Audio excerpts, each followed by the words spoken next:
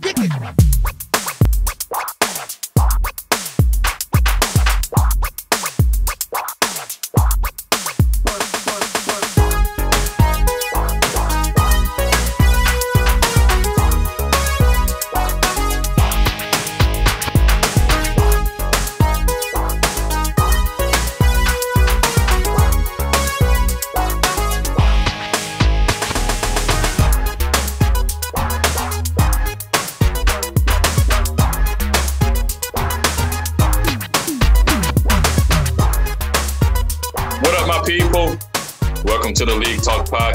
I'm your host, Shane Youman.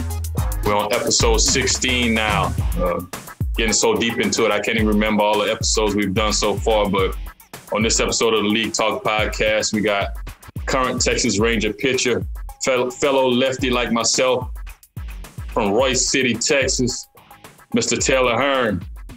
T. Hearn, man, what's going on, man? How you living? Man, living good, I'm good, man. Trying to stay safe during this pandemic and also trying to get my work in too. So, but uh, I've been good. Yeah, man, that's cool. We all trying to trying to stay safe during this pandemic. It's just been bizarre, you know. Over over half the year of 2020 has been we we've had to walk on eggshells when you talk about the pandemic.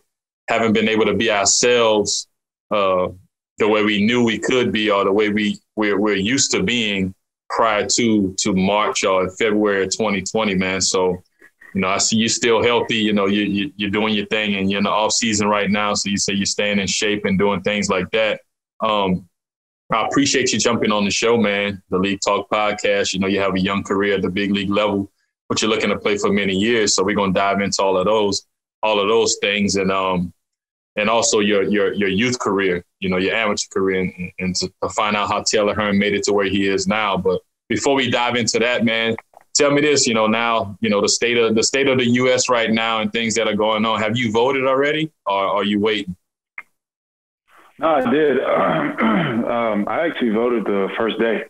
I got I got up at like uh, probably six six thirty, six forty five, and the men in my church, me and my pastor, and all the men in our church, we got up and voted in yeah. suits and everything. So like we, we did it the first day, just knock it out. And to be surprisingly, like, you know, really wasn't that many like people out there. They moved kind of smooth. So that was kind of good for me because I'm like, oh, next time I vote, like I'm just gonna do it the 1st day, and, you know, get out the way. It's not that many people out there.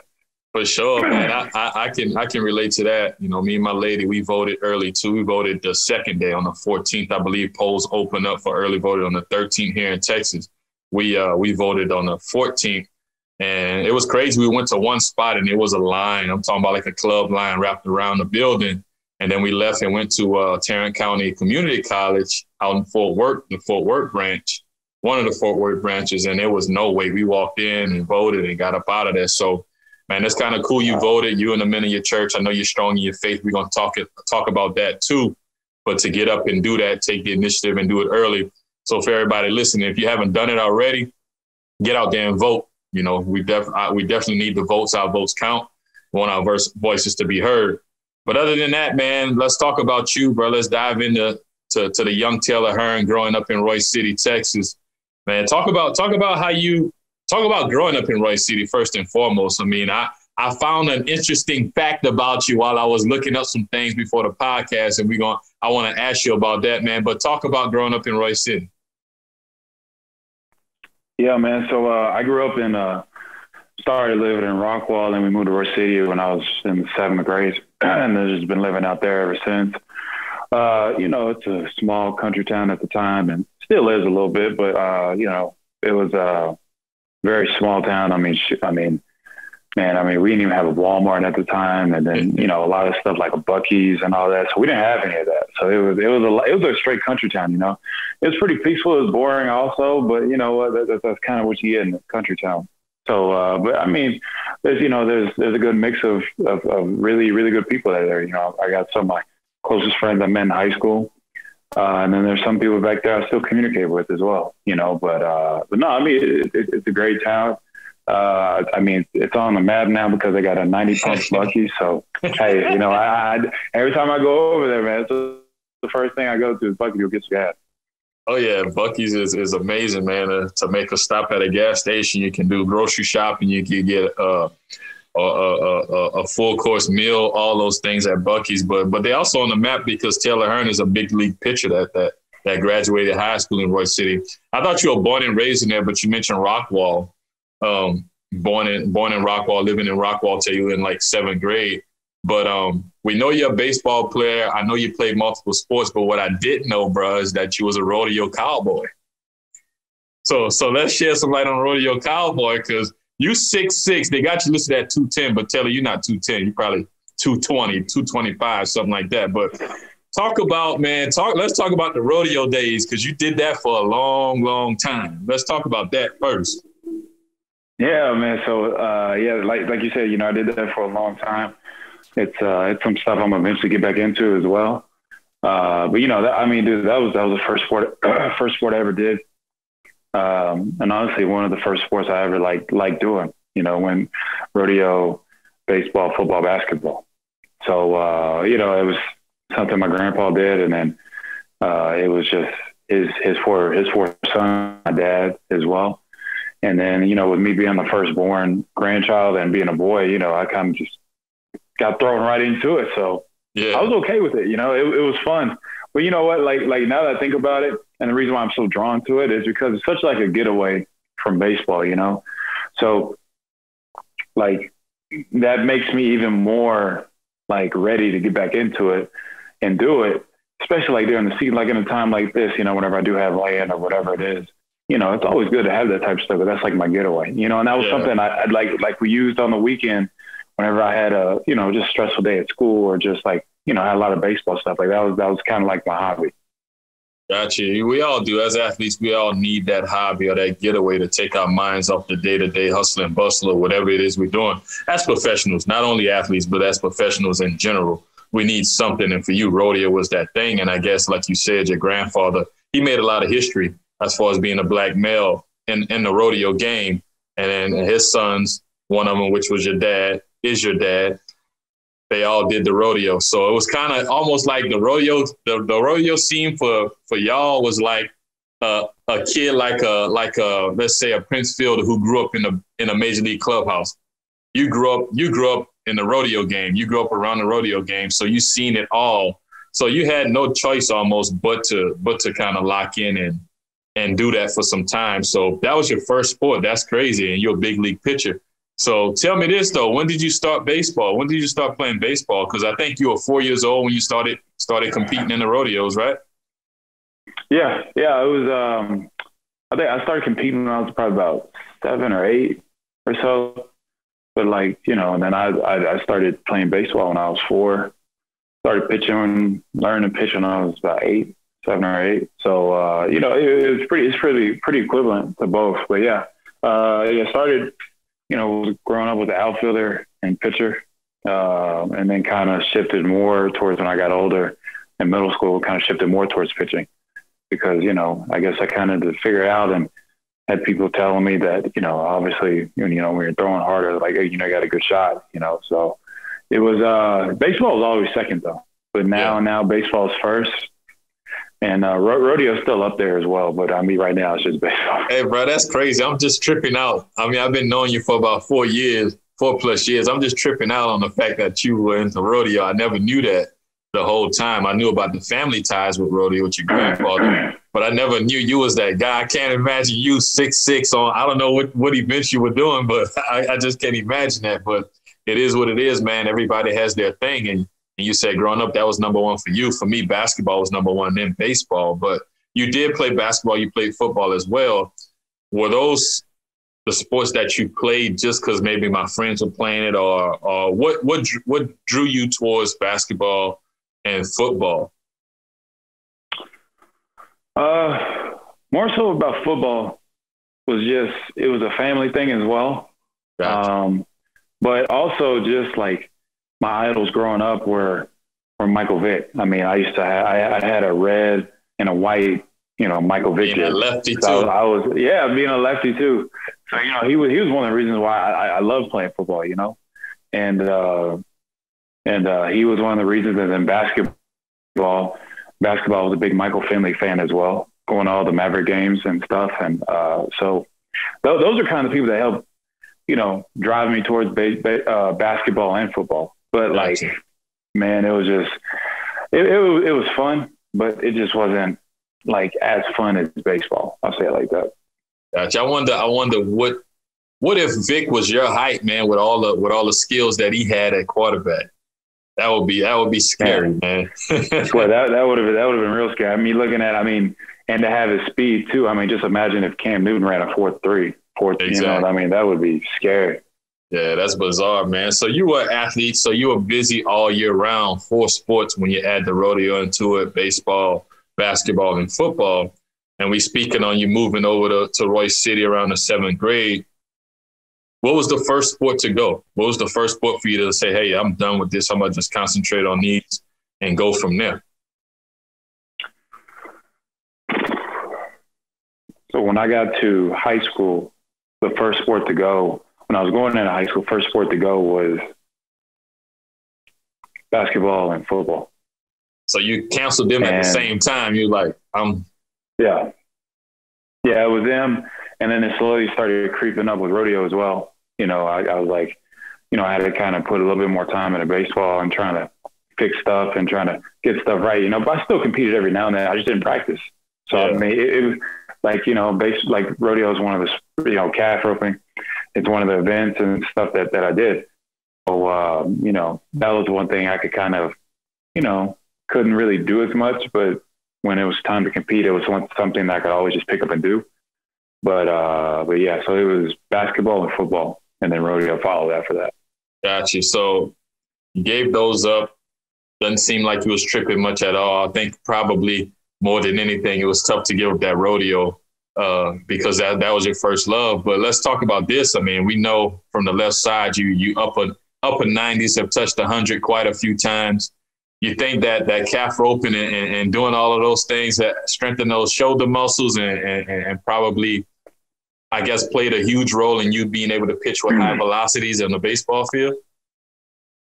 Well, I mean, I, I think the, the only like the weird thing about it is I did the events right-handed and then threw a left-handed.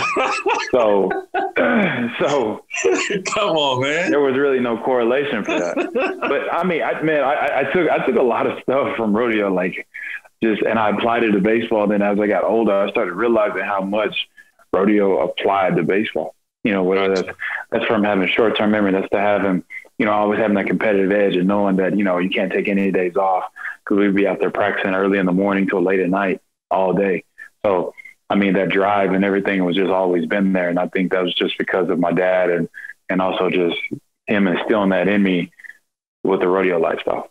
Yeah, that's crazy, man. You sound like me. I don't, I mean, I'll, I'll write, you know, eat, do a lot of stuff right handed, but baseball, sports wise, you know, I'm lefty. I'll shoot a basketball that way, throw a football, so on and so forth, hit from the left side. But we diving into it, man, with Taylor Hearn, Texas Rangers left-handed pitcher. Um, you know, you're giving up the basketball to football, and then you said rodeo came after that.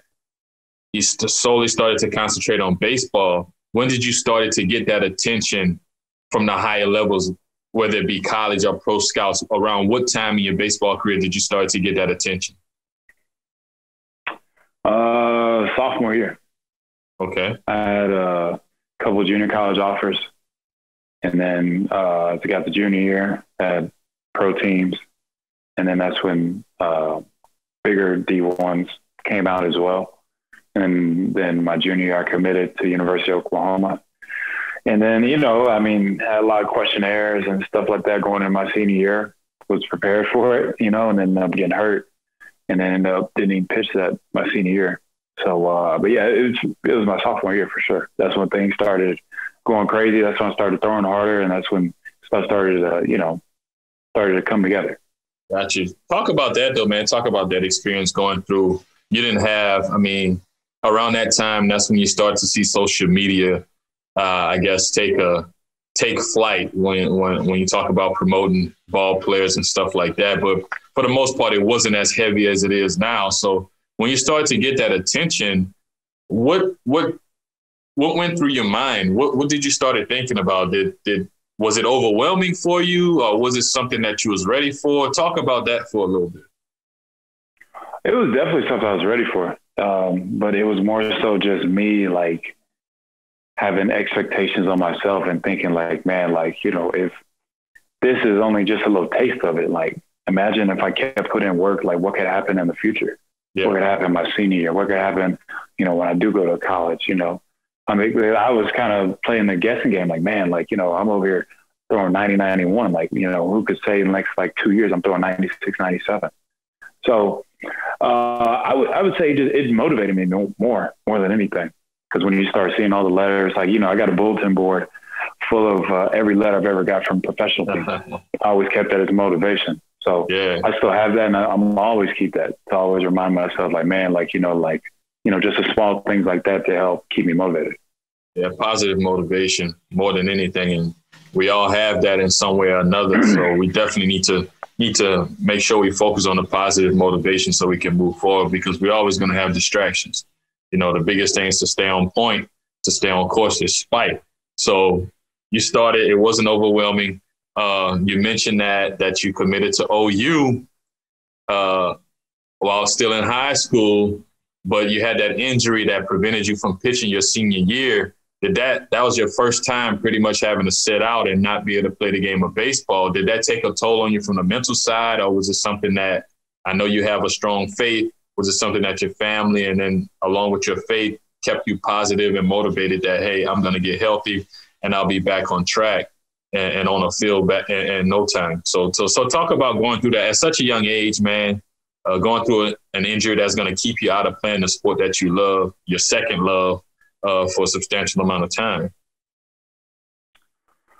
Uh, yeah, man. so it it it weighed on me uh, pretty heavily mentally, like bad, you know. But I mean, like you said earlier about my faith and everything, like that was that was a pretty big part of it. But I really feel like my faith really got more tested my freshman year of college as well because I I, I got hurt again, and then I actually was close to quitting because I was just like, you know, this is the second time, it's something different. And I'm just like, man, I just can't get a break. You know, if it wasn't for my mom keeping me grounded and telling me, you know, keep reading in your Bible, keep keep doing the right things, like you got to go through some hard stuff before you get to where you got to go. So definitely that, and then you know, just having faith in God, and always talking to him about it, but just um, you know, just learning from a mental aspect, like learning how to be, just be patient. Because I mean, you you know as well that guys want try to get to get drafted, you know, as fast as they can. Guys want to try to get the big leagues as fast as they can, but nobody really wants to take the time during the process of getting hurt, during the process of just anything, demotion or whatever it is, and not really breaking it down, and more so trying to figure out, okay, let me try to take the right necessary steps so I can move past this mentally and physically, but just so I don't have to repeat this. So definitely mentally, it took me up a notch, huge. Each each time I got injured, even in high school to college to pro ball, it took me up mentally because I kind of had to evaluate things from a different aspect and kind of had to take a step back from baseball and try to figure out. Try, that's when I became more of a student of the game. You know, started reading, reading, but also just watching more film of guys and breaking guys down to being like, okay, he pitches like this. You know, let me try to see what I can do to add that to my repertoire. Try to just up my game every year. You know, that makes sense, man. I mean, I, I, I can definitely attest to going through that adverse time with having an injury. I got injured my freshman year in college. Uh, don't know how much I would have pitched as a freshman, but it was a good chance I would have had an opportunity to pitch as a freshman. But that setback kept me from doing so. Again, from this standpoint here, not not ever having to sit down in your career and then all of a sudden you got to sit down for a long period of time it's it's tough on a youngster. You know, I'm sure you were about 16 or 17 at the time. I was 18 at the time it happened. So fairly young guys. And, and to have that strong family background, that strong belief in your faith, you know, standing your Bible, all of that stuff kept you kept you uh kept you above water. For me, I suffered. You know, my grades kind of dipped and things like that because I wasn't able to do what I was always doing every summer, play baseball. But speaking on that, man, uh, having that injury, didn't get a chance to go to OU. Instead, you signed to go to San Jac. But before that, you got drafted. You got drafted by the Pirates, right? After your senior in high school.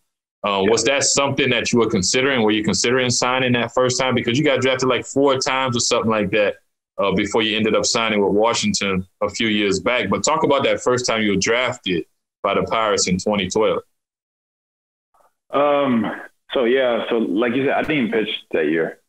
So it, you know, I feel like as a high school kid, you gotta, in order for you to go play professional baseball, it's got to be life changing money almost. Like it's got to be, you know, high six figures, not nothing like, you know, hundred thousand, fifty thousand, whatever it is. But you know, guys, guys still make the unless you don't want to go to school. Unless you don't want to go to school. Right. Right. And, and and with me, I was okay with that because I was like, I'm I'm going to be investing in myself and try to better myself so that I can set myself up for a situation to where I do get paid enough to, you know, be able to feel comfortable. But more so, more so about it was just just the mental aspect, but then the physical aspect as well, because I was dealing with injuries. You know, getting drafted uh, three times prior before signing. You know, those teams were trying to sign you for a, a, a lower amount because I didn't have any innings. So that was kind of something they had on me. So I kind of wanted to get them back and more so put up good numbers and do well so I can say, okay, I am healthy. I can do this. Like now you have to make a hard decision to like now instead of you just projecting like, okay, he's going to be like this, like, no, I showed you I can do that. So, um, but yeah, but then also the biggest, biggest thing was also like, obviously I wasn't asking for like a million dollars and stuff like that, but I needed, I needed, yeah, I needed, I needed some money so that it, it was an investment in me, but then it was kind of like where they had invested in me as well, you know, because it's like I see it as the more money you sign for, the better and more opportunity it buys you in pro ball. To where if you sign for less, it doesn't buy you that much opportunity, you know. And I think you and I both seen it and can attest to that. We've seen guys that sign for three million dollars or two million dollars, and they keep getting opportunity yeah. after opportunity. And then you That's see guys that sign for five. Yeah, you, but then you see guys that sign for like ten, fifteen thousand dollars or whatever it is, and they they playing once every three days, and then they go on a slump for about two months, and next thing you know, they're gone. Yeah, so that's real talk, man. It's, it, real talk. Yeah, it's, it's, that type of stuff, though. Oh yeah. we see it every day, like you said, and then you see that diamond in the rough that might make it, and that three million dollar guy that you know might be out of baseball. But like you said, an organization invests X amount of dollars in you, that's giving you some type of security and know that you're going to get some a chance to, to show your talent and a chance to move up the ranks and make it to the big leagues. Just like a cat has nine lives, you know, that money behind you gives you a set amount of lives when it comes to professional baseball. So, um, you know, dealing with that man going to San Jac, pitching there, big time JUCO when you talk about JUCO uh, baseball programs, and then and then getting drafted again after your sophomore year uh, at San Jac as well, and then going over to Oklahoma Baptist for a year, getting drafted again, and then I might be missing one. I'm not sure, but you finally signed. But before we jump into when you finally signed with the Nats, getting drafted in the fifth round, talk about because San Jac they push out prospect after prospect every year. Talk about that experience going from Royse City, a small city, out here in the DFW area, and then going over to San Jac, who was a who is still a big time JUCO powerhouse. Talk about how that prepared you for for going to Oklahoma Baptist, and then from there signing that pro contract. Um, it was a it was a good experience, you know. But I I I, pitched two years. I was there. I pitched like 20, 23, 24 innings. To dealing with the injuries. And then there was a lot of stuff that also played into it as well. But I mean, I, I, I think just learning from San Jac, you know, those guys are great coaches, of course. Um, but uh, dealing with injuries, that's where I really just learned my self dedication and learn how to work out on my own. You know, I was doing my homework, and when I got done about seven thirty eight, I go lift out of out of my uh, apartment complex, and I do that and go run and do anything to try to just stay active and stay ready. Yeah. You know, and try to just figure out what was going on to try to just show people that, uh, you know, that we can, that I am a good draft prospect. So it was a, it was, it was a lot of stuff as well. But uh, I think it was just me also just, uh, you know, learning that self dedication in college, learning that mom and dad aren't going to be there to push you. Trainers not going to be there to push you. You got to be yourself. Yeah, almost like a professional because you're away from home it's a little bit more. It's a little bit more. I guess. I guess folks are uh, it's hard for me to explain, but but it is like being a professional because you are away from home, as I mentioned, and it's up to you to go out there and put in the work. Because if you don't put in the work, then you're not going to have the opportunity. So I'm trying to keep up with the amount of times he got drafted, man. I kind of got lost because it is a lot. I don't know if somebody's been drafted more times than you or not, but four times. You know, that fourth time was a charm instead of the third. Uh, you're going to fifth round to Washington after putting together a, a, a, good season at Oklahoma Baptist. Let's talk about that process, man. Was it something that you was like, okay, I'm definitely signing, or did it take you a little time to make that decision? No, I, I, I was I was set and sold on signing that year because I had, you know, I had put up good numbers. I I had shown the velocity.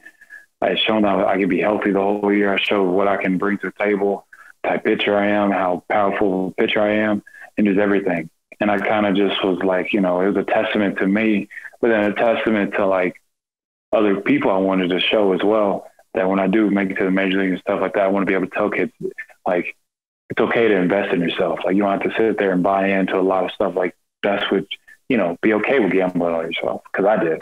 You know, I did it three times and then got drafted the fourth time and it paid off.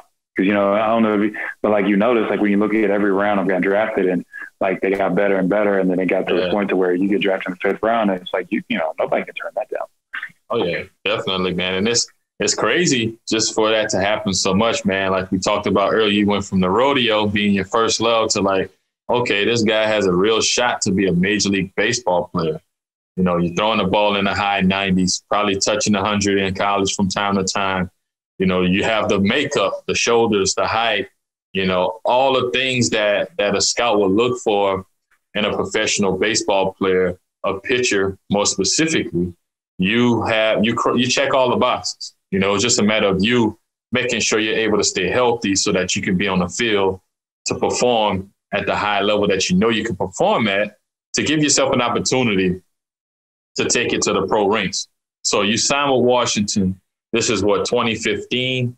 Uh, you sign with Washington, and and let's let's speak on that first that first time you stepped on a professional or even in a in a professional clubhouse. Talk about that experience uh, being in a professional clubhouse for the first time and stepping onto the field and co- competing as a professional baseball player. Man, the first game I ever, the first, like, I don't consider rookie ball um, that yet, but it was when I went to short season. And I remember it to this day, you know, my first start was against, was in Batavia in short season in New York. Terrible place. so, yeah, man. So like, it's like, that was, it, it doesn't get much, much worse than that. so I remember I had like, think six, seven strikeouts that game. I was pretty amped up. You know, I'm like, man, you know, I'm here in pro ball. Like, you know, I'm ready to do this. You know, ready to show these guys what I can do. But uh, it all just happened so fast. I just remember sitting back in my hotel and just thinking, like, man, like, you know, I worked so hard to get to this point, but you know, now I'm in a better field with I'm with guys that are, you know, I got two guys from one guy from LSU, Andrew Stevenson, and I got guys from Vanderbilt, I got guys from, you know, Clemson, all these other guys. And I'm just like, man, you're like, you know, I got I got to try to hang with these guys. Yeah, you're so, uh, little I, Oklahoma I, think, Baptist, little Oklahoma Baptist. Yeah, right? yeah, NAI guy, you know, and you know for fact, you know as well. Like when you know when you when you look at the draft class and you get to talking to guys and stuff like that, you have you have a tendency to like compare. You're like, wait, they took this guy in the 22nd round, they paid him how much, and like, you know, so like, look at me. I mean, I was a fifth rounder, I got taken in front of a, a, bunch of guys that went to big D ones, you know. So it's like I'm sure they said the same thing, like, man, like why why they take this guy from NAI? like he better come out and be throwing hundred and stuff like that, you know. So yeah, like uh, it, it, it, was it was good. It was good. You know, I made some really good friends, people I still communicate with to this day, and uh, you know, it was fun. It was a good experience, though. No doubt, no doubt. Batavia, man, Michael Bowen, I had him on a few episodes back, and he he played with the Phillies, so Batavia was his home when he went to short season, he was like, "Man, I'm." I told myself I'm never coming back to this place because because it was a dump. So the New York Penn League. So I played in that New York Penn League as well. And Williamsport, the Pirates used to be there. So um, it was some it was some places we went to that was that was a little bit sketchy. So, but um, that ex- that first experience, man, like you said, you saw a bunch of these big D one guys on your team or you playing against these guys, you went to an NAIA school, all the kids listening because we know nowadays everybody's pumping up, going to the big D1s, you know, pushing the PG tournaments, pushing this, baseball factory, that, all of this, all that, everything is that upper echelon. Yeah, shoot for the stars, man. Shoot for the stars, man. You know, try to get to that highest level possible, but it's not the end all be all. We're talking to a major league pitcher right now, Taylor Hearn, who went to an NAIA school, was a fifth round draft pick, and is a current big league pitcher on the Texas Rangers, uh, on the Texas Rangers roster right now. So it, it doesn't, it, it, to some extent, it may matter where you go, but if you can ball, people are going to find you. So that, as far as that goes, that that should be that should be the moral of the story for anybody out there. Definitely shoot for the stars, you know, and, and see where it can take you. But but don't let that be the end all be all for you. Don't put your eggs all in that one basket. You know, focus on the opportunity, somebody that wants you, somebody that's going to give you that, the chance to show your talent. That's most important. So you finish that first season, man, or you finish that season um, in a, with the with the short season squad with, with the Nats, and then you go to your first spring training. Did you spend any time at the spring training facility after the draft, or did they just ship you straight out to uh to short season? I spent probably about about two two or three weeks at the spring training facility, and then they shipped me out gotcha. short season. So they uh, they wanted to make sure everything was good to go. You know, through a through a game down there, um, and then they're like, all right, yeah, you're good to go, and sent me up to short season. But yeah, um, you know, I got a chance to. I was at the, when I was with the Nationals. I was there when they had teal lockers, and you know they're in Viera, Florida. You know, and then before they got the new West teal Palm lockers, teal, and y'all were red and white. Yeah, they were. yeah, I know. But yeah, it was it was uh, it was pretty interesting. But yeah, I mean, it was it was hot, man. Because you know that's Florida, and, you know, especially in that time, and and you know, June, July, like Florida's hot. So it was it was a different different atmosphere. It was just a different ball game as well because you know you're down there with a bunch of young guys. You know, I think you know the average age in rookie league is like what 16, 17, 18 years old or something like yeah, that. Yeah, nobody it's, really older than 19 probably. Yeah, you know, and, and so with me being a college guy, I kind of was like, man, like you know, I'm gonna try to just hope I'm not here too long because I'm like, I, I, I'm not gonna lie, I pitched in one game and I'm just like sitting back thinking, I'm like, I don't need to be here. Like I like I just I just went through three innings and just threw predominantly fastballs, and I was just like, I don't do that, you know. So, uh, but no, it, it, was good though. It was good though. It was a good experience, and uh, you know, taught taught patience as well. Definitely, man. And then and uh, that first spring training, you know, you're around probably in short in, rookie ball when you went there for the, that two week period, you probably saw about 50, 60 guys that were hanging around. And then you show up for spring training and next year is about 250 guys uh, roaming around the complex. Like, how was that? Was that like an eye opening experience for you to step on out there and see that it was a slew of guys out there in spring training competing for spots? Yeah, that's for sure that's when that's when it kind of gets real. That's when you kind of gotta take it in, and it's also from like a business aspect as well, because you know you're seeing, I mean, guys that uh, came from University of Texas and just you know just just I'm talking about just guys in general that are in the upper level. So you know, like yeah. like these are guys I've heard about that are like top prospects, and I'm like I'm over here sharing a locker room with these guys, you know, yeah. and it's like just double A, triple A guys and some ex big leaguers you see in there. And so it kind of kind of gets a little realistic, but then you kind of got to put yourself in check a little bit because part of me was like, man, like you know, like this dude's a stud. And I'm like, man, I'd hate that the you know I got to compete with this guy for a spot yeah. eventually one day or something, you know. So that's when that's when kind of sets in. You're like, okay, like you know, for 30, 40 guys early on, you're like, yeah, that's cool. But then when you see everybody there and you're seeing like the different levels, you're seeing guys that are throwing 100, you know, that went to this school, and you're like, man, I remember watching him on TV you're just like, golly, man, I gotta, I, I really gotta, you know, I gotta, I gotta keep my job. Yeah, zone in, not get caught up in the hype. That's the biggest thing. You see all those guys, and, and if you avoid getting caught up in the hype, it allows you to focus on your task at hand and take care of business to do what you need to do in order to continue to climb that ladder and ultimately get to the big leagues. So we all had that experience, you know, we all had that experience to see certain things go on in spring training uh, you either you either early or you're late. You're never on time. So when, when it's time to be outside, if if it's a three o'clock stretch, you better get out there ten minutes before, fifteen minutes before, because now Taylor ain't ain't no running laps or or, or anything like that. They're taking money at your pocket. So so you definitely better make sure you're on, you, you're taking care of business in every aspect of the game.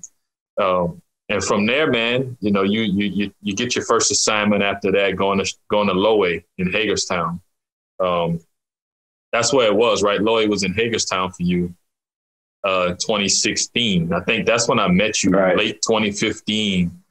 We will play. We'll play catch. You throw the ball the length of the football field, bro. I couldn't hang with you. I was trying to hang, but but I couldn't do that. You long tossing, man, length of the football field. But I understand why everybody's different uh, I was definitely probably throwing the ball 70 yards or something like that. I couldn't hang with the with the hundred, but um, you go over to Hagerstown, man. That first that first assignment in low A, and then was it that same year you got traded, or was it the following year you got traded to the Pirates? No, it was it was it was that same year, same year. Um, oh, geez, let me see. So I got hurt first game of the season in Hagerstown, first batter, crazy. Rehab, I've come back literally 30 days before trade deadline.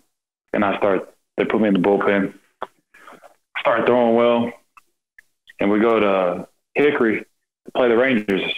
Yeah. About to play a doubleheader. And my manager comes over to me and goes, Hey, uh, we're pushing you back a day. So I'm like, All right, like, okay. So everybody's wondering, like, Hey, like, why aren't you throwing? And I know. I, am like, I don't know. I don't, I don't know. I don't know. So we're in the dugout and it's it was like the sixth inning, sixth or seventh inning. And uh, manager comes down in and he calls me down. He goes, "Hey, uh, just thought I'd let you know you got traded to the Pirates." And I was like, "Oh, really?" He goes, "Yeah." He goes, "Yeah." So you got expecting a phone call from the uh, farm director. So you got to go in the locker room. I'm doing this in the middle of a game. I'm running in the middle of a game. They got to call time and stuff. So yeah. I'm running. Everybody's like, "What's going on?" And it was crazy, man, because I remember I just walked right in the locker room and my phone's to the right and the TV's on in the corner. And it's on MLB Network. Sure enough, like 10 seconds in there, I'm, yeah, I, I see my name down at the bottom and then they start talking about it and I haven't moved. And I'm just sitting watching them. Like, These fools are really talking about me. And then I look to my right, my phone just goes off. And it's just like, hey, congrats. Like, man, I just saw you on TV. I saw you got traded. And I'm just sitting there and I'm like, what, what just happened? Yeah. you know, so I'm just sitting there and I'm calling my agent at the time and I'm calling everybody, my family, and let them know what happened. And so, uh, but yeah, man, it was, it was crazy. And then, you know, I mean, next thing you know, before the second game started, all my teammates, old teammates at the time, they were like, "Hey, um, you want those shorts? You want those shirts?" I was like, "Yeah, dude, just just take them." I was like, "I don't care." Hey, so man, I, was I, was like, I was like, I was like, hey man, I was like, look, I don't, I don't play for him no more. So it, it is, I have him, whatever. Yeah, it's a ball, you know. So we we on the grind. It's it's we got to get it how we live, man. It's a tough, it's a tough goal. So yeah, them boys want them extra shorts, them extra t-shirts, all of that stuff. But you on the man, road, dude, so crazy. Yeah, you on the road. So how did that work out? Did you get a chance to go back to Hagerstown, or, or was like, hey, you gotta you gotta be here, uh, wherever the Pirates? No, nah, so um, so they flew me to Pittsburgh, and um, I'm thinking to myself, like, man, like, how am I going to be able to get my clothes and everything out of Hagerstown? So they flew me from Hagerstown, from where we're at, Hickory, to uh, Pennsylvania to go get a physical. Yeah. And um, I'm up there and go talk to them and everything. And and so I'm talking to our head trainer, and I said, hey, uh, where where are you guys sending me? I'm thinking like back to low A, high A. I don't know he looks at me and he goes, uh, Sydney is a Hagerstown. I said, well, I said, our team's in West Virginia, isn't it? They're like, yeah, but we're playing Hagerstown. So I'm just like, okay. So I, I, I go through, I go to the park and um, I'm just like thinking like, man, like, I don't even know what I'm going to do. Like, I still got stuff in my locker from the other side.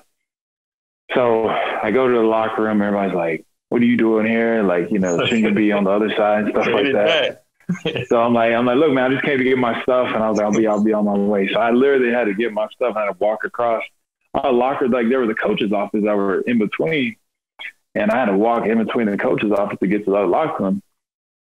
And so I'm sitting here and meeting these new guys. It's a lot of new faces and everything. I'm just like, man, like, you know, I'm trying to remember names. And so the manager uh, calls me in, and he's like, uh, you know, hey man, you know, I heard like good things about you, excited about you, and all that. He goes, uh, how you feeling? I said, I feel good. I said, you know, I'm a little tired. Like I haven't thrown in about two days. I said, but I'm good though.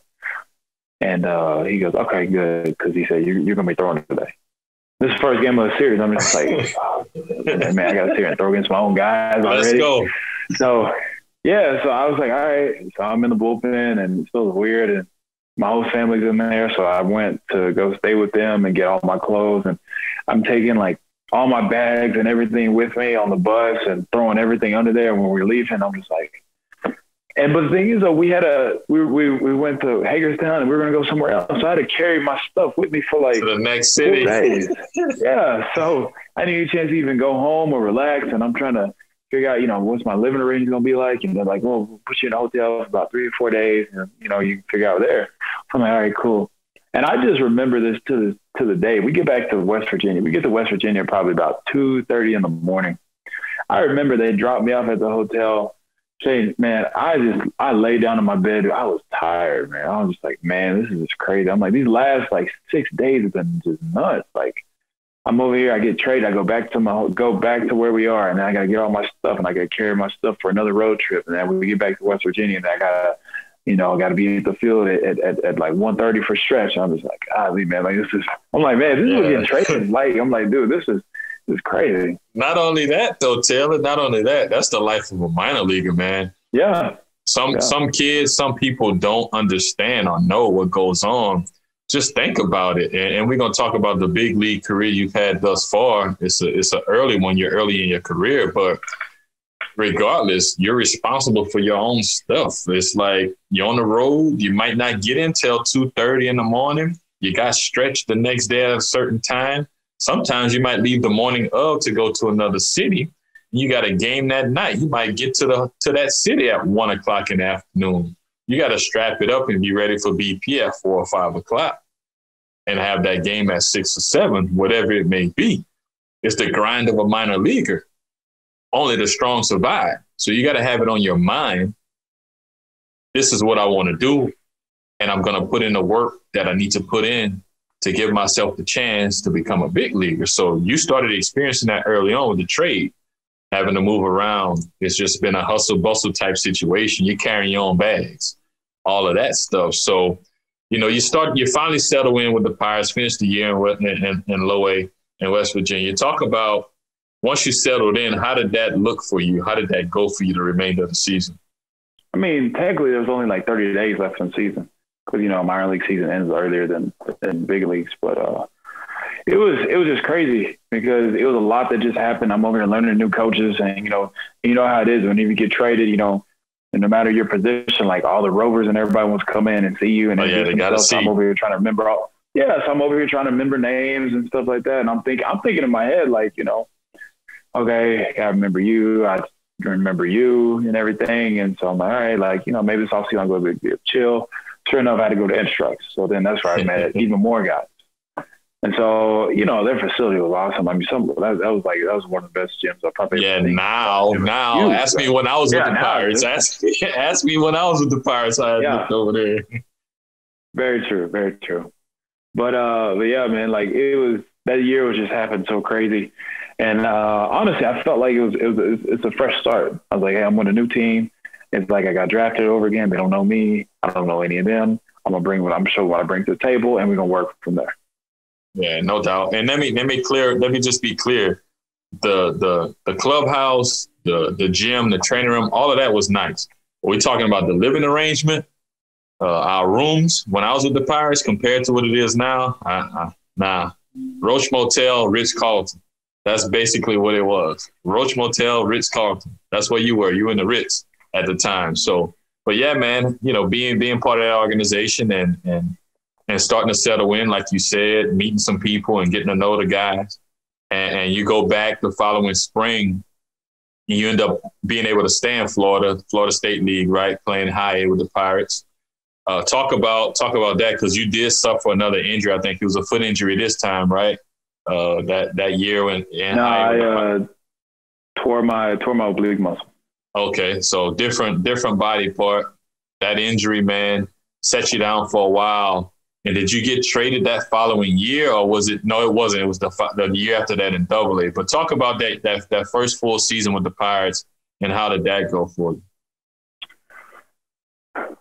Man, it was uh, it was, it was, it was crazy because the Florida State League is is is not an easy league, and it's hot. It's, uh, yeah, it's hot too, man. Because I remember I went to spring training that year at about two, about 220, 225 maybe, and by the time we got to July in the Florida State League, I was down like 210, 215 because it was just so hot, you know? Yeah. We get out there for BP at 12 o'clock and you know, and it's 97, 98 degrees. And you're like, Jesus, man, like it's just, you know.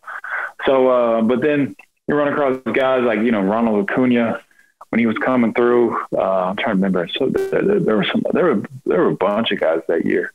But uh, Florida State you know, brings the best out of you because that's where, you know, you kind of, you're going to be facing dudes that are going to be in the big leagues and they're just one step away from the big leagues, you know? Yeah. So uh, it, it, was a good challenge. It was fun though. It was in Florida. I got a chance to go to the beach and all that, even though I really didn't go. But you know, uh, I think that was the first time I got a chance to experience uh, playing in big league stadium, but with no fans almost. Yeah, yeah, some high level competition, like you said, and then you mentioned some of the bigger prospects that might be in high A. Guys are trying to make that push into double A. You might have guys that come down from double A to high A that have that experience some salty veterans, if you would call them that, and things of that nature. So you handled yourself well, though. You had you put together a good season after coming back from the oblique, and then the following year you go to Double A. You know, you're hitting your stride. And I know we started really talking a lot because it was an adjustment for you um, from the from the sense of you didn't get off to the hottest start. You thought you didn't get off to the hottest start, but you were doing fairly well, but not to your standards and then you was able to break through and put together put together a solid season, and then get traded again uh, that year to the hometown Rangers. But but talk about a little bit. Talk about a, just a just a tad bit about being in Altoona, which is a great a great city. As far as you know, how they treat baseball in the stadium is is top notch. But that that double A experience, now you're amongst bigger prospects. Now you're amongst guys that have probably been in the big leagues already that go up and down from double A to the big leagues, you know, triple A guys coming down to double A. Talk about that first experience going into double A. Uh, double A, double A was definitely a year um, playing in that level was the ultimate test. That was one of the first things that they told all of us the first year in double A. They said, double A, you're at the level now to where you're one phone call away from the big leagues. But basically, double A is the level that's going to show if you can play at the big league level or not. So uh, I kind of took that to heart as well, but I just took it as another stepping stone as well. So uh, that was when I really, really started to take even more ownership of my own career. That was when I changed up my mechanics, changed up a lot of stuff to try to better myself because, you know, just like you said, I kind of felt like I got off to a bad start. And, um, you know, after three or four games, changed my mechanics, took me like two or three weeks to fix it. And the next thing you know, it was just like, just, it was rolling because, you know, you kind of got to make, you know, you kind of got to make adjustments on the fly up there. You know, you can't, you kind of got to find something that works for you. That's where you kind of find your routine is in double A. Cause, you know, you're facing big league guys, you're facing, um, uh, future big league guys as well, but then you're also just, you know, just, you can just feel it up there. Like the level of competition so different. Yeah.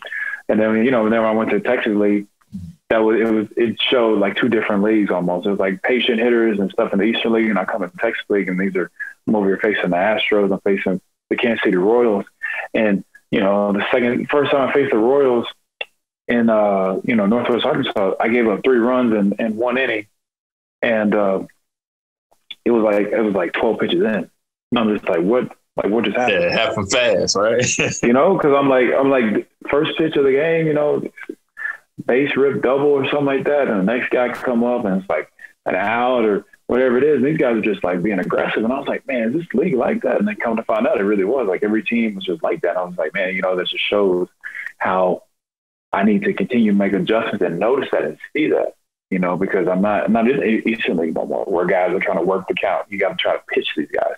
Now it's more so like in the Texas League, like everybody's trying to get the ball up in there. Everybody's trying to hit it, hit it, hit early and try to get on me, you know, and then, um, you know, but like I said, just goes to show that, hey, like you got to make an adjustment in double A. You got to be able to show that you belong there so that you can basically tell the organization that, hey, like I'm ready for triple A and you call me up to the big leagues today, like I'll be ready. Oh yeah, definitely, definitely adjustments are key in Double A from a pitching standpoint. If not, you're gonna gonna get your head knocked off more times than not. And you said you saw that in patient hitters in the Eastern League, where where they try to work counts, and then when you was traded over to the Rangers, getting a taste of the Texas League, guys are aggressive early. They trying to get it get it done early in the count. So it's almost like, hey, Eastern League, I got to make sure those type of teams, I got to make sure I'm able to throw throw strikes early on in the count. I can't fall behind. You know, I can't fall behind. Texas League, I might have to pitch backwards a little bit more and, and start guys off with something different, and then finish them with my fastball. It really just depends. But but you noticed that, and you was able to make that adjustment, and, and that was important for you, not only performance wise, velo wise, numbers, whatever but if t- if that that team traded for you, the Rangers traded for you, they saw you was able to adjust from being in the Eastern League and the type of hitters you saw in the Eastern League, and then coming over to the Texas League and seeing those type of hitters, you being able to change a game up or do something a little different to to, to take care of business at that level is like okay, like you said, he's ready for AAA, he's ready for the big league. So um, besides that, what else what else played into to your mindset or or your attitude, if I should say, when you, excuse me, when you got that call again, it was like, hey Taylor, uh, we trade you over to the Texas Rangers. What what what went through the head then? Were you excited about that because you were coming back home basically, or was it like, oh, here we go again? Now I got to go get my clothes from here, there, and everywhere before you know before I can really feel comfortable. Well, fortunate enough, um, we were at home and it was on the off day. We were actually traveling on that off day to go play Erie so uh, I was fortunate enough I didn't have to do nothing. I just had to, you know, basically pack up my stuff and they sent a guy to come pick up my truck and ship it down to Frisco. Uh, but um, but yeah, man, that was a crazy day because you know, um, I mean, I didn't get no sleep that day. I really didn't. I found out I got traded at two o'clock in the morning, and uh, it was for one of my, if it was for my teammate, uh, you know, Stephen Allen to to wake me up, man, I wouldn't have, I would have found out in the morning on the way yeah. to the field. So, uh, you know, that was kind of crazy that, uh, you know, all that happened and transpired during that. But then, but then that just goes to show how baseball and how trade deals sometimes go further than 12 o'clock where people think, okay, well, it's getting kind of late. Like, we'll try again tomorrow. Like, no, they kept trying. Don't stop. Kept trying. yeah. You know, like they were like, no, we're going to try to get deals done today. So, uh, yeah, it was it was crazy. It was a lot. It, it, was it was I was I was very excited to be able to come back home because yeah, I mean, I mean, big guys, can you say that? Hey, I got a chance to make my debut with my hometown team. You know, yeah. not many guys can say that.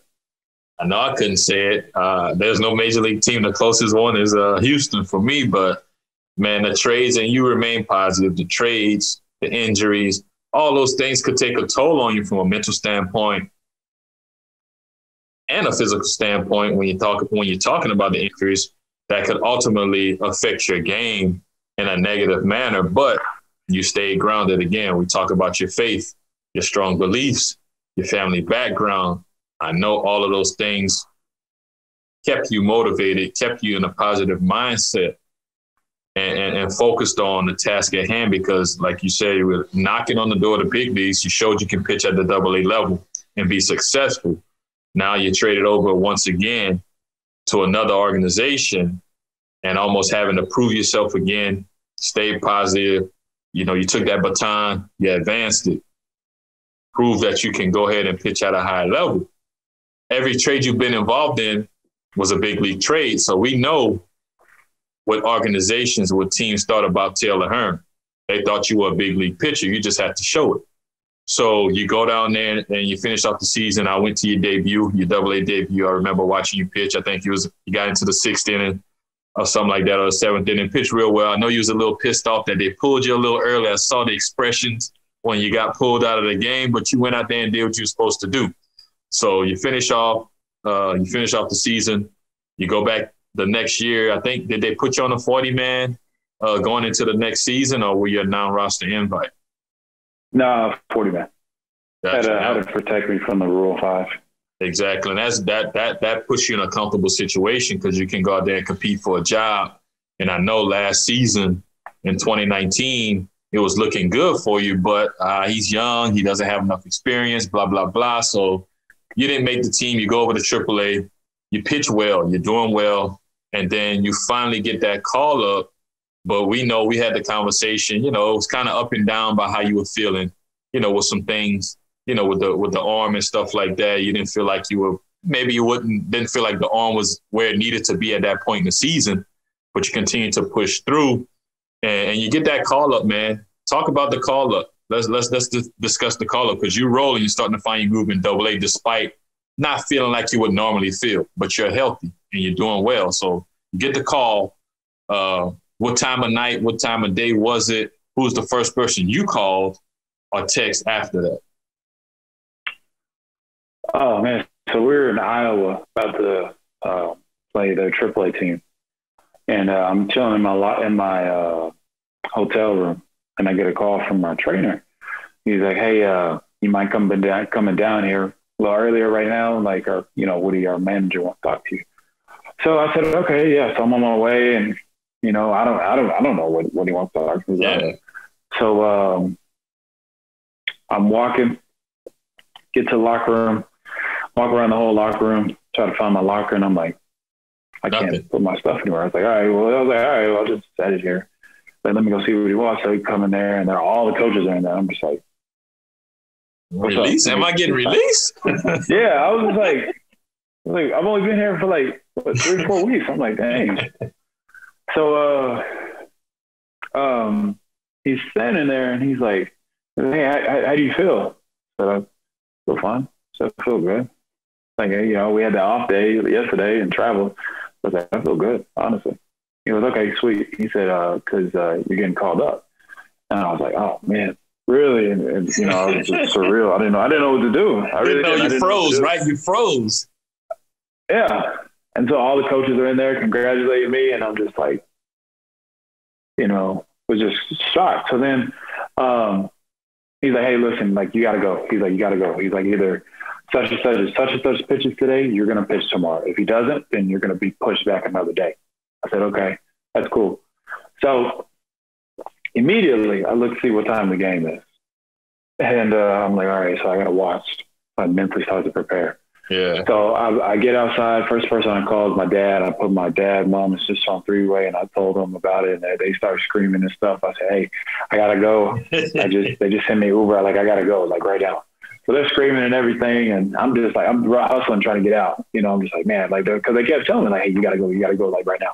Yeah. So uh, as time goes on, and I'm on my way to the airport, you know, I'm calling people, you know, trying to make sure I get to my flight, and I get there like an hour before, and I sit on the plane, and I'm just like, something ain't right. I was like, what? I was like, something ain't right.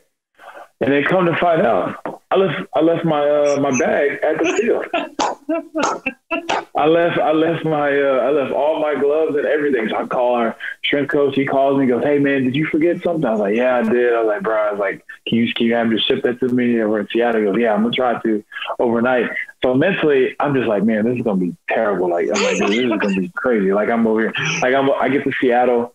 I get in Seattle like late at night, and. uh I'm just sitting there and I'm like thinking, I'm looking up Dick's Sporting Goods Academy. I'm like, okay, I gotta see what time they open. Gotta find a glove. This spot, this spot.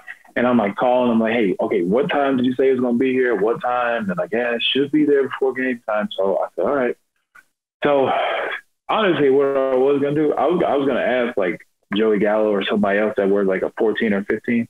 I was gonna try to squeeze into their cleats just for the day. yeah. Because I was like, man, I really don't feel like going to Dick's Sporting Goods but fortunate enough, it got there on time and everything. So like uh, that that was that was that was, pretty. That's crazy, man. Everybody has a story, man, and I know Rajay Davis said, man, he wasn't even worried about his equipment. He was just going to the airport to make sure he didn't miss the flight. Yeah. So he just left it there. So you you fall into that category. You probably be using a Choo a Choo Shin-Soo glove uh, if you had to pitch that day, the outfielder uh, for the Rangers. But but that's kind of cool, man. To to to get that news, you walk in, you can't even put your, your equipment nowhere. You go in the office and everybody's standing in there thinking, "Oh man, I'm about to get released already." you know, I've only been here for a month or so. What's going on? And then you get that get you get the news. Hey, you're going up to the big leagues. You're froze. You don't know what to do. You got to hustle and bustle. Call who you can. Get to the airport. I leave my bags. Dang, what I'm gonna do now? So, and we know, like you said, it, it's, it's been paying off because you've been through a lot. Adversity had to grind. So to, to step on that mound, you pitched in the big leagues in the spring in spring training, but now bright lights, the good baseballs, you're on that perfectly manicured mound, that perfectly manicured field, and, and all that. You got the big league uniform on. You don't have the spring training jersey on. You got the real regular season jersey. All of that, man. Talk about talk about the time that you walked from the clubhouse to I don't know left field or right field line to start to warm up, and then bullpen mound, and then finally stepping on that game mound. Talk about how that how that felt. Man, it was it was it was, crazy because you uh, you're walking out there and you going through your routine and walking out there and it's like man, like you know this is crazy. You know, you see all these fans, you, and it, and you're like, man, like I'm not in that I'm not in a, a, a minor league park anymore. Like I'm here in the big leagues. At, you know, I'm I'm here in a retractable roof in Seattle. You know, and I'm like, this is my first time playing in one of these.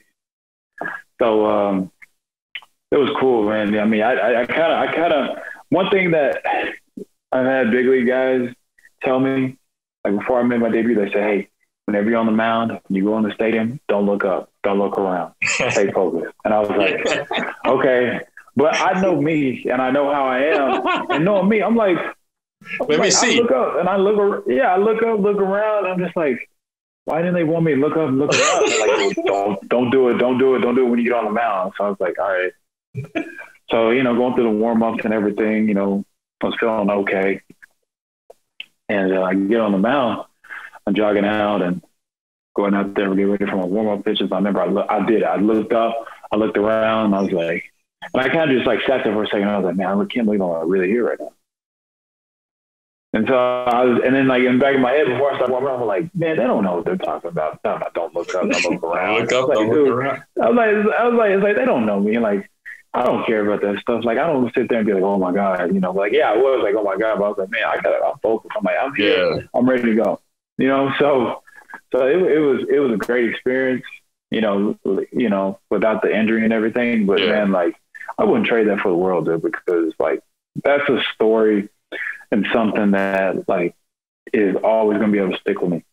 You know, but then that's a testament to other people that like when I tell this story you know, that's like, my came up to me before I made my debut, said, Hey, would you rather have a bad debut and not make the Hall of Fame or have, or have a bad debut and make the Hall of Fame in the end? I'm like, Oh, give me that Hall of Fame all the time. Yeah. But I, I more so wasn't scared about it. Like, yeah, it sucked, but I realized, and I sat down, I realized like every injury, everything I went through helped prepare me for that to where it's like, oh, this is this, this is just another thing. Like, yeah, it happened on the biggest stage, but I really felt like that was just a test to God that He gave me to see if I'm gonna continue to have faith in him. Like, man, like you went through all these injuries, then you had a lot of good breaks, and he said, then all of a sudden, like, you know, you get hurt on your debut. You can't even like you record one out, and then and then like you know, so I kind of took it from a, a, a positive aspect. Of course you have to because because the journey doesn't end right there when you make your debut. It continues on the field and off the field. But unfortunately, like we like we like we just like you just mentioned, you know, you suffered an injury in your debut, you know, set you back. Um, especially the whole fact of the matter was we couldn't figure out what was going on. You know, you thought it was one thing, it ended up being something else and then finally got to the root of the problem whether or not I thought, and you probably thought you'd have been able to make it back that same year, but the fact that we wasn't able to get a clear diagnosis of what going was what was going on, it kept you out for the whole season. Probably not not such a bad thing in the grand scheme of things, but it had to be a little bit of a little bit of nerve wracking to you, nerve wracking to you, just to really not know what's going on inside that arm to to really tackle the rehab and get yourself back on the field. So just speak briefly on how how that played on you mentally, not really knowing what was going on. Yeah, man. So, like, you know, the first diagnosis was the strain, grade one strain UCL. That's, you know, normal for pitchers to get that. And then I get back from that and I'm working way back and I'm just feeling like something's going on underneath my elbow. And I'm just like, man, I you know, I never felt this before.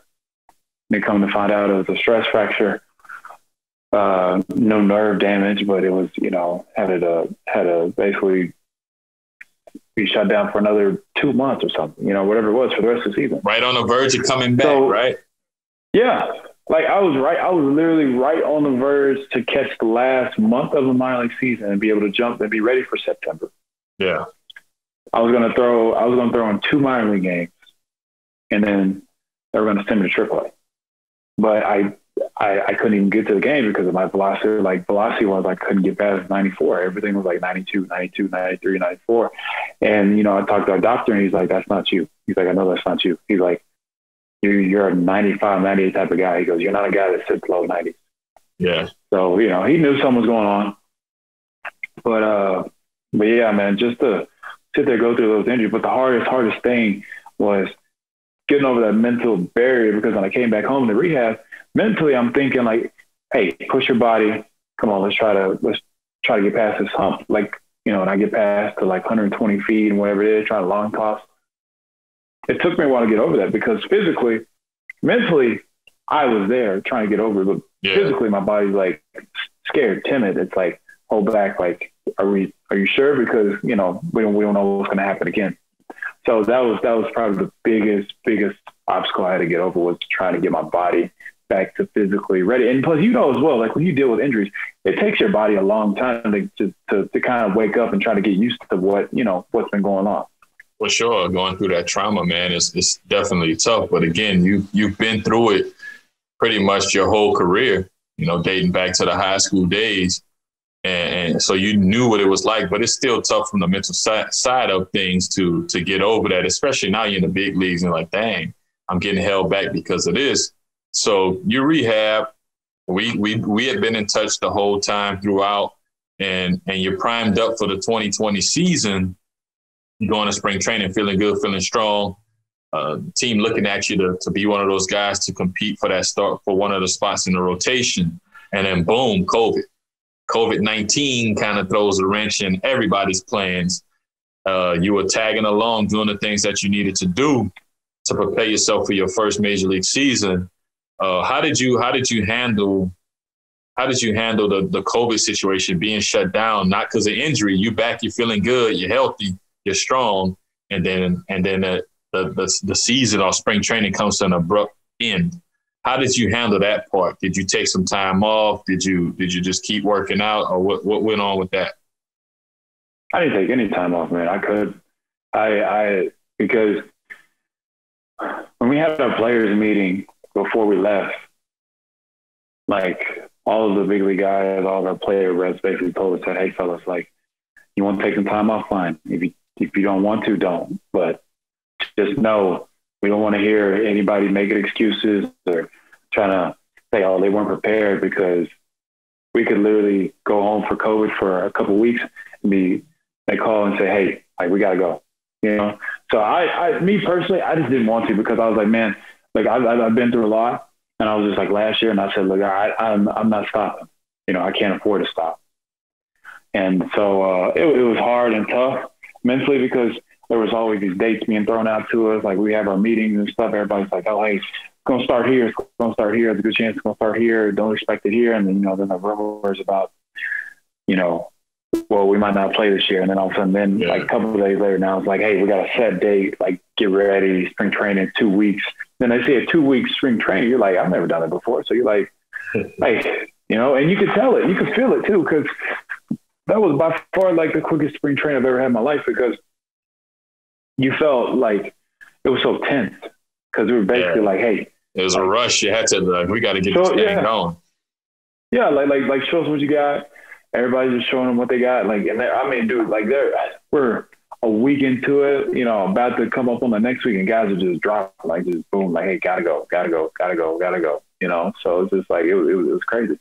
Yeah, I can imagine that. I mean, you know, a sense of urgency to to get prepared for a season after being away from each other for however many weeks or a month or however long it was before before guys got back together as a team, as an organization to get ready for the season.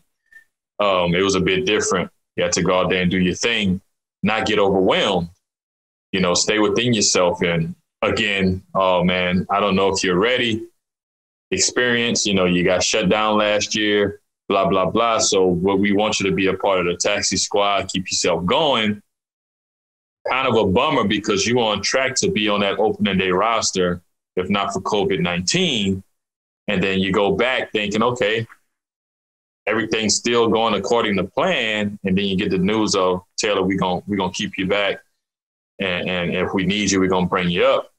So I know I know that that took a toll mentally, maybe just for a short period of time but you kept you kept focused on the task at hand and and found yourself back up in the big leagues shortly after the season started. So you go back up there this time. It's not new to you. New stadium, probably one of the best stadiums in baseball. But you go back you go back up now. You've already had a taste, already already been under those lights. So talk about this year having to adjust to a different role of being in the bullpen. Although it was a short season, talk about talk about getting that call again and then really being able to settle in and be yourself, even though it's in a reliever's role? Well, I, I mean, I, I kind of look at it from like this. Like people think when you receive a demotion at times, it's like the worst thing ever. Yeah, yeah it does suck at the time. But I think it's all about how you're going to approach it, how you how you're going to have that mental aspect, how are you going to have a positive attitude about it.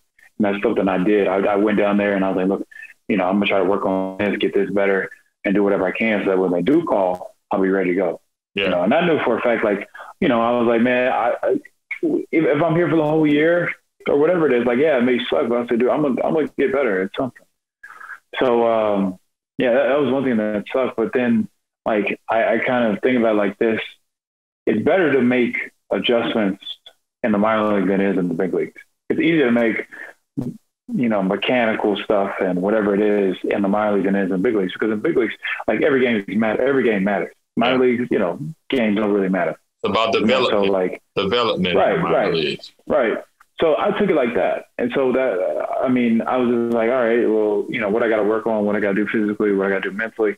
I'm gonna continue to get better at that, so that when they do call me up, I'll be ready to go.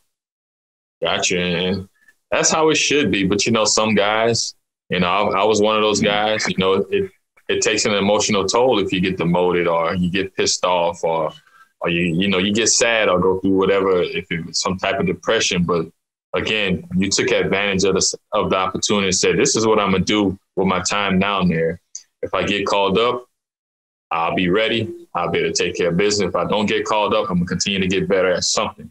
Which is great, a great mindset to have in that situation not only for yourself, but from an organizational standpoint, now they know Taylor's a real professional because he's going about his business the way he should and, and, and not causing any trouble or, or any, any other, any other, I guess, negative type of feedback because we decided to send him down to the minor leagues instead of keeping him on the big league squad. So that's a, definitely a testament to you, you know, being strong minded, having a strong faith, having a good family background, to keep you focused on the task at hand in order to achieve the goals that you want to achieve. But man, we got a couple more minutes, Taylor, man, and I definitely appreciate you hopping on the podcast, bro.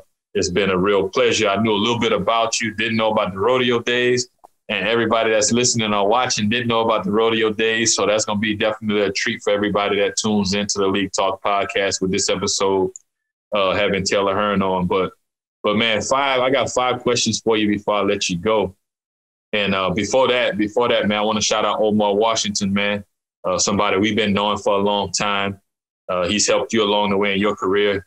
He's definitely helped me uh, a couple times when I was out here in Dallas in off seasons with some mechanics and stuff like that. So shout out Omar Washington, man. Hopefully you tune into the to the League Talk podcast and you catch the episodes that I put out so far. But we're gonna hop into these five questions, man. Some some simple answers, nothing crazy, and then I'm gonna let you go, bro. So uh, I'm ready to shoot them out there if you're ready to answer.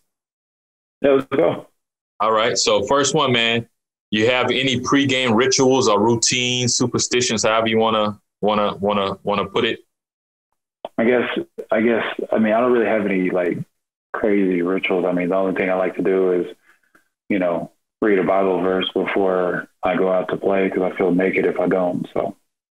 Gotcha. Hey, hey, we all have something, man. For me, it was music, peanut butter, and jelly sandwiches. So, you know, for you, you're getting in your word. Like you said, you feel naked. Oh, for sure, for sure, music too. Yeah, for sure, the music too. I mean, I mean, man, like whenever I was starting, like whenever I get back to starting, and just like when I was a starter and everything, man, I, yeah. I, I had like a, you know, always a set few songs I played all the time on my playlist, you know, because I was yeah. just about, hey, you know, getting hyped up, just my mental stuff, started thinking, you know what I'm saying? That's when I really flipped the switch. For sure. But that, that Bible verse is a game changer, I must say. I must say that's definitely a game changer when you're talking about pregame rituals or routines or whatever. But so tell me this, man. What's something a hitter, what's something a hitter does that that that you can't stand? Something a hitter may do that you can't stand. Um, Oh yeah, one thing that irritates me is when I see hitters um, swinging their bat. Like when they get in the box, they want to swing their bat, and they yeah. always happen to be swinging their bat right where the catcher's fingers are, and I can't see all the time. So I'm uh-huh. just like praying and hope. You know what I'm saying? So that's one thing that doing? irritates me. Yeah, what you yeah, doing? Why exactly. you trying to block my sign? like, yeah, trying to block the signs, or or another one is like, you know, I, I and I guess they, you know, they're asking questions too, but then like I've seen it repetitively where like I make a I make two pitches, two or three pitches, and they're always looking back to the umpire asking like, like "Hey, where's, that? that at?" And I'm just like, get in there and swing, dude. Like, yeah. like my god. I'm with you on that one. That one right there, I could say I, that's something that irritates me as well. That's crazy, man. So tell me this, man. I, I can't because like we, we we we can't sit there and be like, hey, where you got that? You know exactly because like, the umpire's gonna tell us something like, come, just go ahead yeah, and do your job. Yeah, yeah, yeah. That's crazy. Although although it's you know your career is young, you're young in your major league career. What's been your most memorable moment thus far, man? Getting my first big league strikeout, man. Waiting over a year for that. Who was that? Who was that? Got that uh, it was a slider to Daniel Vogelbach when he gotcha. was with the Mariners. Gotcha. That's what's up. That's what's up, man. First strikeout. So, two more questions for you, man. Then I'm gonna let you go. Two more questions. Your favorite athlete of all time? One A, uh, one and one A. If you want, you can give me two. Okay. Can't think of one. I'll go. I'll go Michael Vick.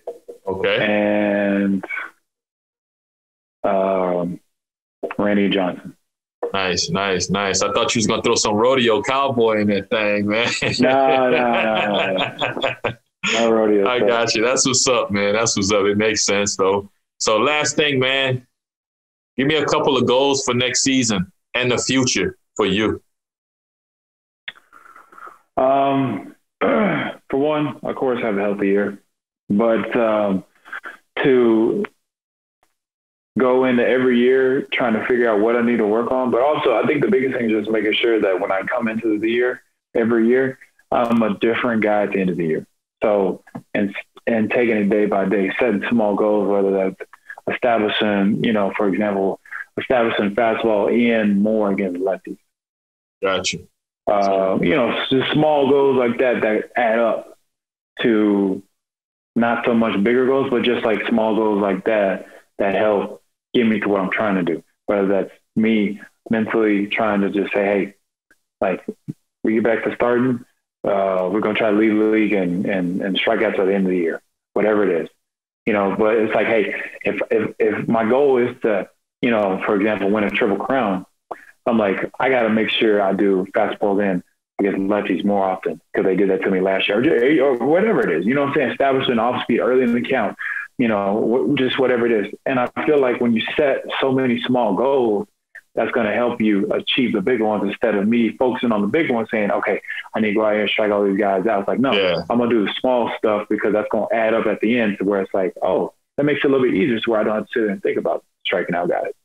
Definitely. I got you, man. I definitely got you. Is is, is you, um, I guess, keeping pace throughout the marathon because we talk about baseball being a marathon, not a sprint. So you keeping pace throughout that marathon is huge, man. And and it's definitely you know something to really think about and see at the end of the day. There is light at the end of the tunnel.